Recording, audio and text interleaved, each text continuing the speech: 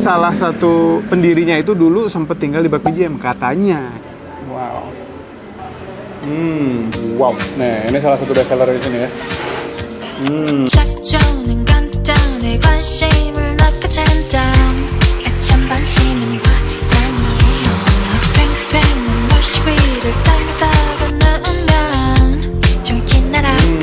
Wow.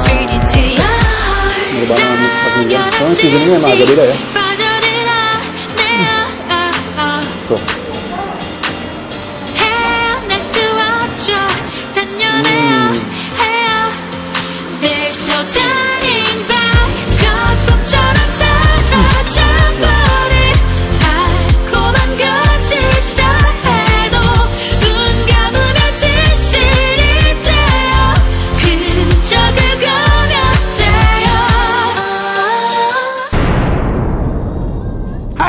Selamat datang di Ayo Makan.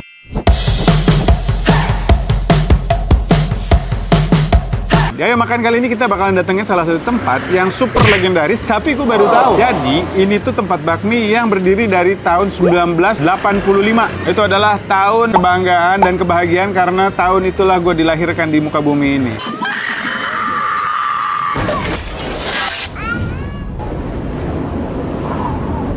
Jadi bakminya ini mirip banget bakmi Jam dan gue lihat di Google. Jadi salah satu pendirinya itu dulu sempet tinggal di bakmi Jam katanya. Tinggal tinggal. Lu kira emang gimana bang? Tinggal di dapur, terus tidur di kompor, terus selimutnya pakai pangsit. Ya elah bang, bukan tinggal kali, kerja di sana. Gitu. Jadi kan kita penasaran banget. Kita bakalan langsung coba aja. Laper banget, belum pernah makan di sini. Bener-bener excited. Gue lihat di Google, ini tampilannya bener-bener mantep dan ah gila gue nggak sabar banget. Ada fuyong hai ada ayam goreng ada segala macam bisa-bisa kalap. Kita langsung datengin aja. Nama tempatnya adalah Bakmi Villa.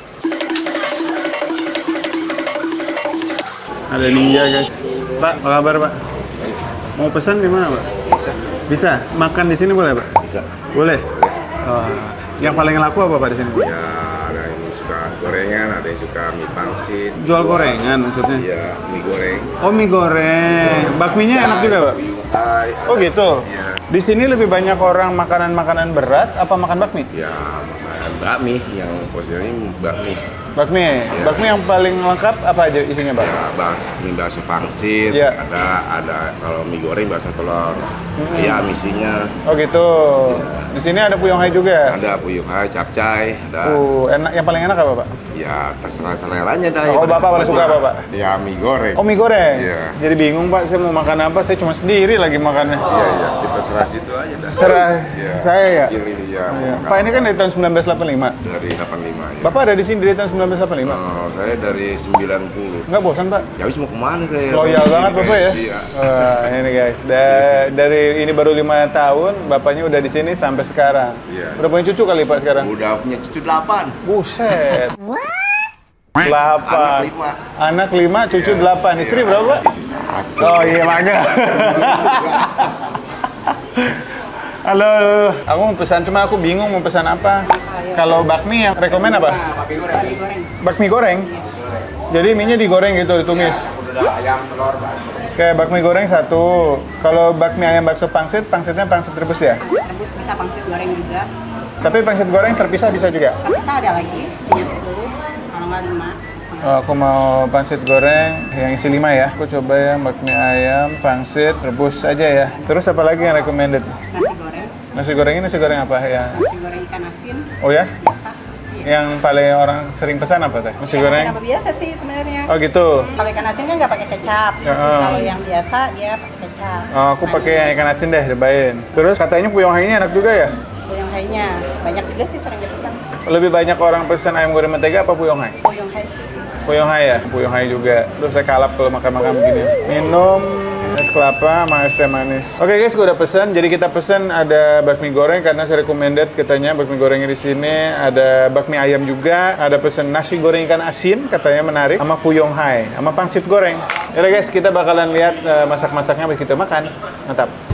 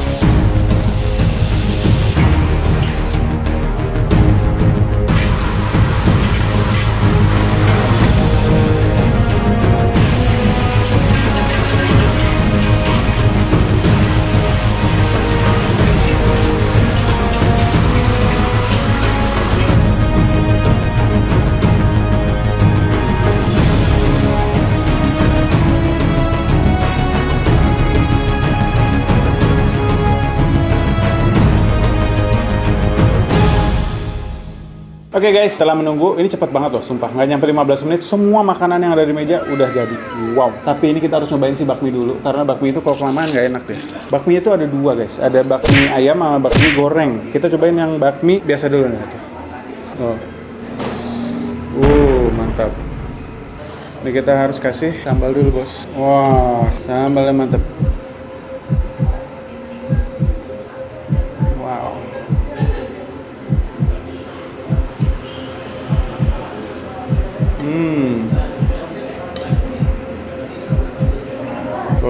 Benar. Oke guys, lihat mantap banget. Kita ambil yang bagian bawah ya, yang belum terkena si cabe. Uh, mantap. Ini porsi lumayan gede loh. Wow, teksturnya oke banget ya. Aduh. Oke, makan ya. Makan. Hmm.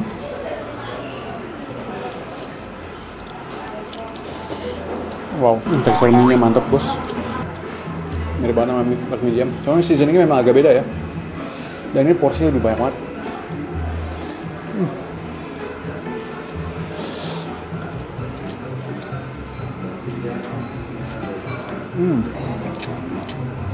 Enak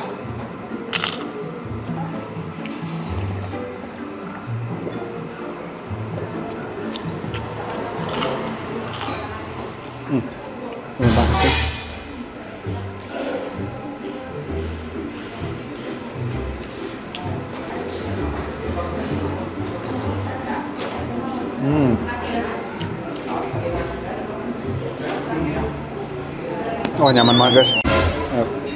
Hmm. Bakminya porsi gede, seasoningnya oke. Walaupun sebenarnya seasoningnya bisa ditambahin lagi ya. Kalau untuk gue tuh lidahnya harus umami banget. Dari tekstur dari mie mantap banget. Hmm.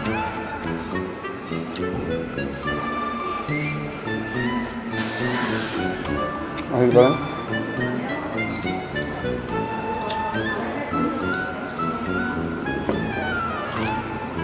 Hmm. Saus panas goreng enak guys. Terlalu manis, silky banget. Mak, mak, mak, mau dong ikutan makan. Aku juga lapar. Ayo dong tuh mie kelihatan enak banget. Hmm. Nggak mantap. Jadi ternyata belum kaduk banget, harus aduk-aduk lagi biar rasanya lebih nyampur. Karena itu kan porsinya gede ya, jadi harus benar-benar kecampur. Sama gua mau coba dulu yang lain-lain, soalnya masih banyak guys. Gua penasaran ini, puyong hai. Ambil. Wah. Hmm. Makan gua potong-potong ya guys.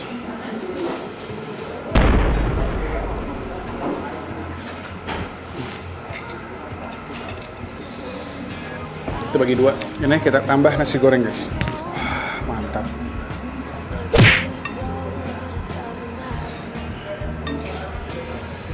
Ini nasi goreng ikan asin. Jadi bedanya kalau di sini nasi goreng biasa itu dia pakai kecap, kalau nasi goreng ikan asin dia hanya kecap asin doang.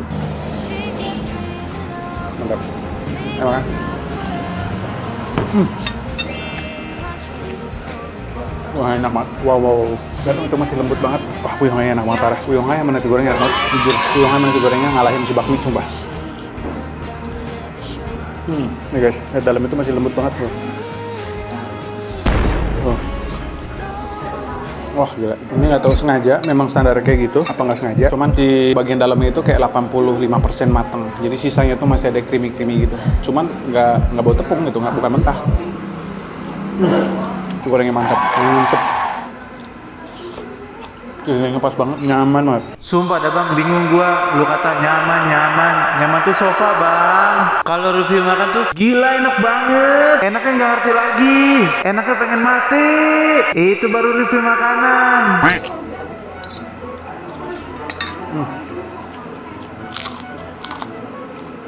Ikan asinnya sebenarnya nggak kelihatan ya. Tuh. Nah ini dia, ikan asin itu.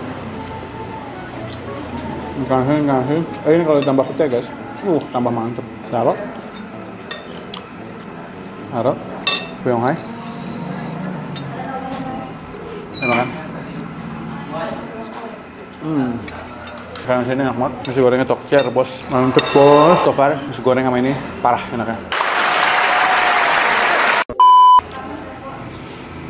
Sekarang kita bakal cobain bakmi goreng. Kita makan jadi satu aja. Hmm.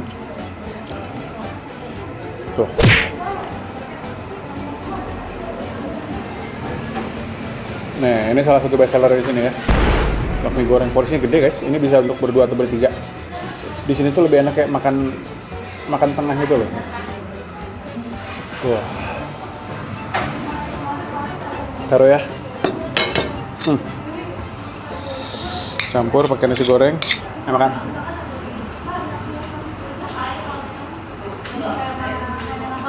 Hmm, ini seasoningnya mantep, Gila. Ini tipikal makanan-makanan Chinese old school gitu loh. Hmm, kayak kalau lu makan, kayak nostalgia makan mie goreng yang kalian pernah rasain waktu kalian masih kecil gitu loh. Rasanya sih kayak gitu. Gua nggak tahu apakah karena penggunaan kecapnya kecap yang kecap lokal tradisional. Cuman ini bikin kelihatannya kan gelap ya. Cuman nggak terlalu manis, gurihnya pas, seasoningnya pas, mantep. Hmm, cuman yang mencuri hatiku nasi goreng sama puyong hai guys. Wah gila. Mencuri hati, mencuri hati. Mentang-mentang lagi review sendiri, gue bilangin bela lu bang. Banget. Hmm, kita pakai ini ya, acar.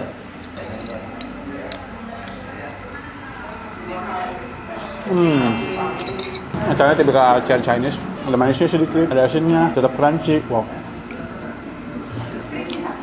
Hmm, so good. Rekomendasi gue kalau kalian makan sini harus pilih nasi goreng sama puyong hai. Mantap sama bakmi bakmi goreng ya, bakmi goreng mantap.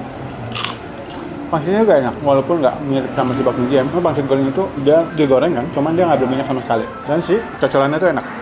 Hmm. Dia nggak terlalu manis. Hmm. Overall ini mantap semua. Kayaknya next gue kalau mau makan sini kayak makan gelaynya gitu. Mau nyobain ayam goreng menteganya, mau nyobain capcaynya, sebetulnya yang lain enak-enak juga. Yaudah guys, kita bakal cobain.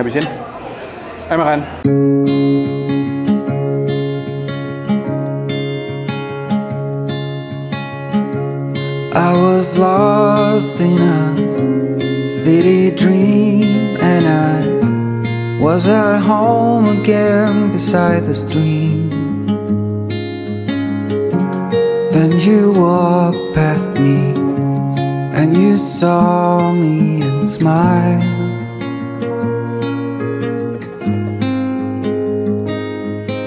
Oke guys, itu dia review kita di Bakmi Villa. Sumpah kenyang banget. Tadi tuh ada sisa Puyong Hai, Jadi ada sisa satu pink sama bakmi goreng. Dan kita makan sebanyak itu nggak nyampe 150 ribu guys. Kita makan 148 ribu. Jadi harganya affordable tapi porsinya porsi gila-gilaan. Kalian bisa lihat di belakang sendiri tuh. Ya nasi goreng itu dari 28 ribu sampai 29 ribu. Nasi goreng ikan asin itu cuma nambah 1000 doang daripada nasi goreng biasanya. Dan ternyata ada nasi goreng ikan asin pete. Sayang banget gue tadi nggak lihat. Bakmi ayam tadi yang gue rebus itu 26.000 pangsit goreng 29.000 itu yang satu porsi. Tadi kita setengah porsi jadi dibagi dua. Puyong hai 30.000 sebanyak itu. Berarti kita makan itu 15.000 cuy. Kita makan setengah keping setengah keping. Kacau kacau kacau. Ini super recommended. Kalian kalau penasaran bisa langsung datang. Gue bakalan kasih link mapnya di description box. Daerahnya di dalam Villa Cinere masuk-masuk ke daerah rumah orang gitu. Cuman ini benar-benar hidden gem mantap udah tahun 1985 mungkin untuk warga Cinere yang udah tahu ini tulis komen di komen box kalian pas ke sini terakhir